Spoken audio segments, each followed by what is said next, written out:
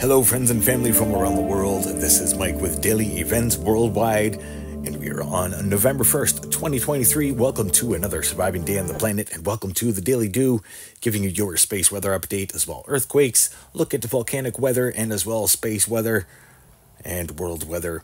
Starting out here, always looking at the last 48 hours on our sun, as we did have quite the event there. If you notice in the bottom part there of the sun, we did have a large plasma filament that ripped away from the sun and as well an M-class solar flare right beside it. So active day on the sun, both kind of in an Earth direction, but southward.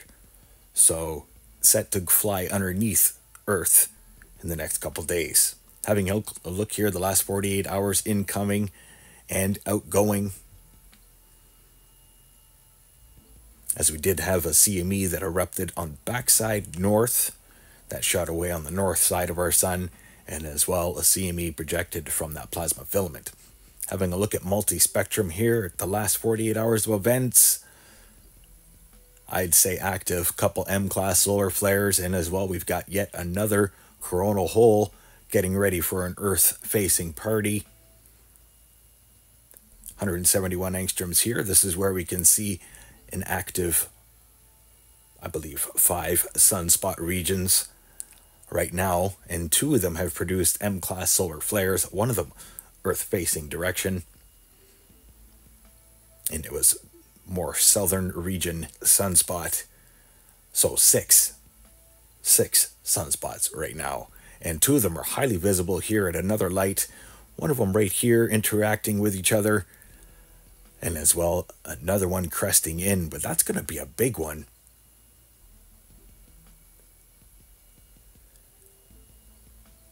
Sometimes when these sunspot regions are very organized, they create a black hole there, pretty much on the sun. That's what it looks like to us. But yeah, two M-class solar flares the last two, uh, 48 hours, showing here current space weather conditions R1 radio blackout impacts expected. Solar winds are now coming in at 456 kilometers per second a little bit down from the last few days as they were up and over 500 kilometers per second. Solar X-ray uh, flux showing there the two M-class solar flares and as well long duration C-class solar flares. KP index is at a 2 or 3 right now. Space Weather Prediction Center here with their space pre uh, prediction spiral showing the CME taking off from our sun that is a coronal mass ejection. And it looks like it's coming at Earth, but it's really going to be going underneath as this was in a uh, southward direction. ISWA showing the same thing here. Large CME taking off, outgoing direction. But the M-class flares, that's why we are under the R1 radio blackout impacts. Watches are in effect having a look at LASCO 2, the last 48 hours. This is where we can really see all of the cosmic energy leaving the sun. CME there, taking off from the north, and then boom, boom, from the west and the south. Some pretty sizable CMEs. We're just going to back that up and have another look at it. And an even closer look at it. We'll slow it down a bit. Wow, that was an active west side shot. And as well from the south. Now let's get to earthquakes the past 24 hours as we're still seeing rumblers, large ones. As I said, it was not over and I was expecting more. Timor region, Indonesia, reporting a 6.1 earthquake today. Very active region for volcanoes all throughout there. And as well, look at this straight east over to the Fiji Islands. 5.1, pretty deep, over 400 kilometer depth, and as well southward towards the Kermadec Islands, creeping even closer towards New Zealand. Lots of activity, Philippines Plate, and northward up into Japan.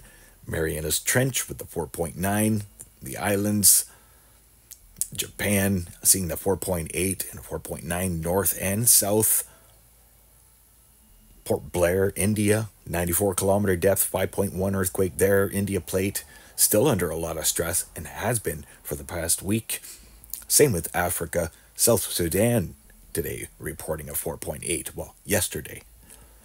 South Sandwich Islands, 5.0 earthquake there, and as well uh, here, 4.6, just south mid Atlantic.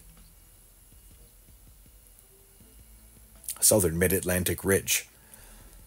Now all of a sudden, South America is quiet after that 6.5 yesterday in Chile, and Guatemala gets a 5.1 today.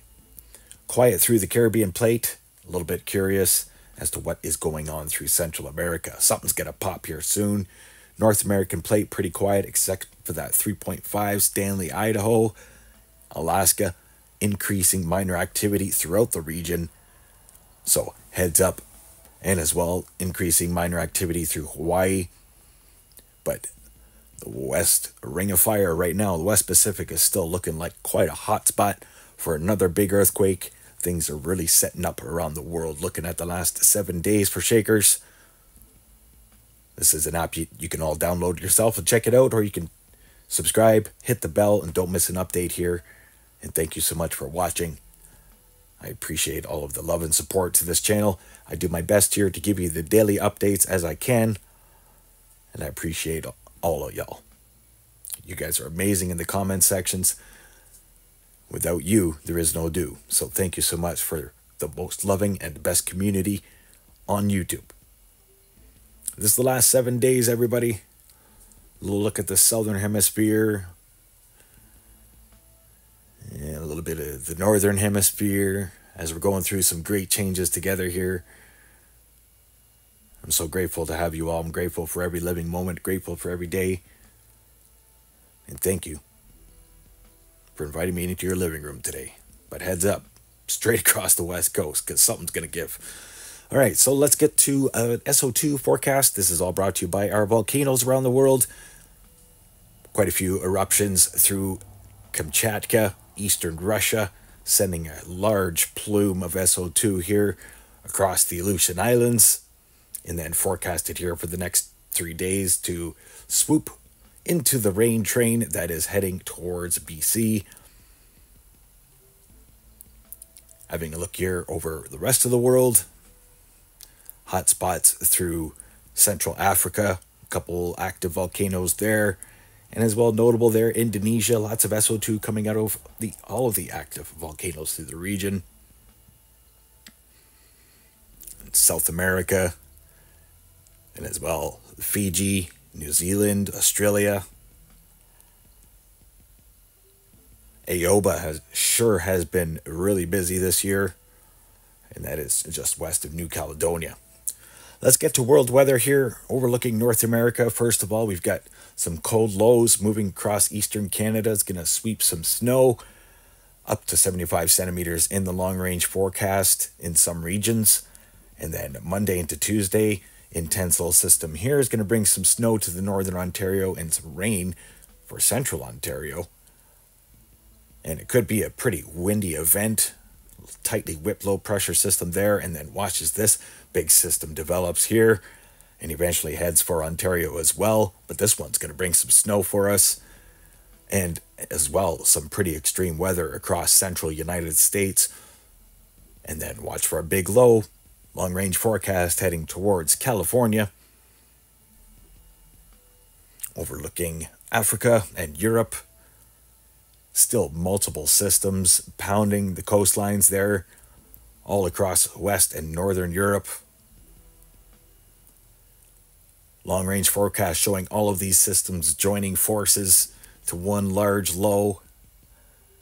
And then another intense system there develops and starts pounding Greenland with a lot of heavy snow, which we've been talking about the last few updates. Overlooking Southeast Asia, Australia, and New Zealand. Watch for this low to be affecting most of New Zealand here for the next few days. And as well, an intense system here developing out of China. And then another low heading towards New Zealand, the long range, but no major systems affecting Australia. And watching for a couple cyclones, possible early development for parts of um, northern Australia. So, heads up, everybody, this is a look at the Pacific Ocean right now. still showing multiple lows, just like the Atlantic Ocean. Things are getting really stirred up here. We're getting ready for winter. Snow was falling for the first time here in on central Ontario yesterday. So Halloween was the first day for 2023. And we can thank these northern polar vortexes because that's what gets winter going. Having a look here, upper level winds, northern hemisphere. Quick look around the world. Intense 225 kilometer per hour winds, upper level, versus the southern hemisphere. And it certainly has changed even since the last update that I did two nights ago. But yeah, we definitely have some cold temperatures right now sweeping across Canada and as well the United States. Snow falling as far south as Colorado.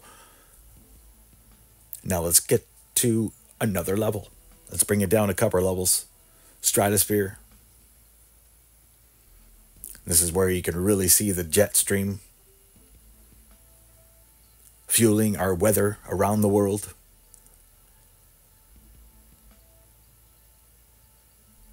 A lot's going to change right before our eyes over the next five to ten years. And this is why I started this channel.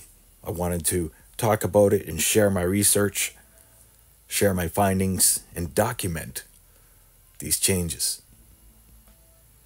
Now, to talk about changes, we're going to look at the upper level winds here on the flat map,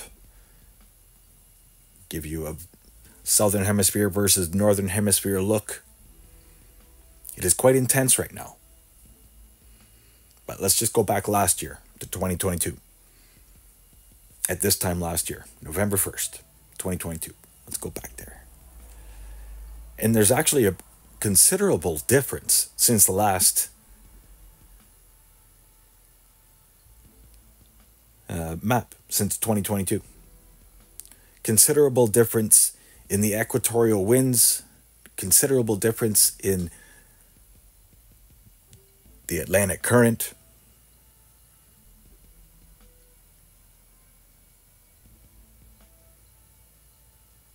And all of these changes our Earth has gone through before together. We have gone through this together before, and we will again, and we will adapt. And these are the changes that we're going through. I want to thank you all for watching tonight. Hope you enjoyed the show. Please share this with your friends and family from around the world. Stay aware and prepared. Stay young and have fun. And get your daily DEW. Bye now. If you enjoyed today's video, please hit that like button, subscribe, share with your friends and family across the world.